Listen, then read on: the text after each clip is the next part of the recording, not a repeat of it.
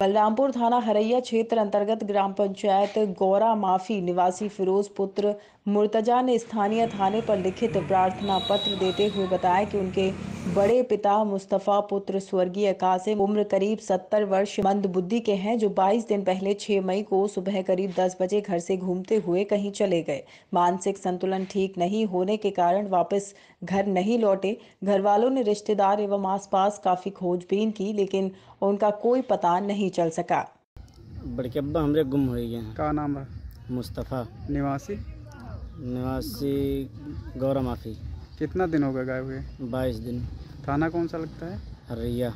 तो कहीं सूचना दिए गायब होने की गुमशुदा की? हाँ थाने पे दिए थे। अच्छा और कोई कार्रवाई इसके अलावा?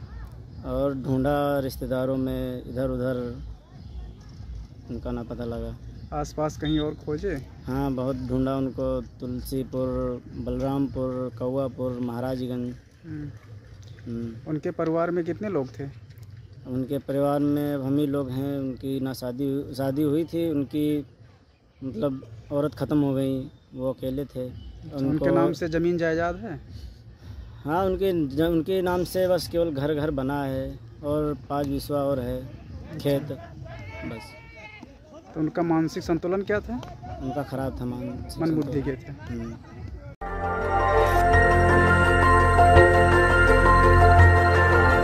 देखते रहिए डीवी भारती समाचार नज़र हर खबर पर।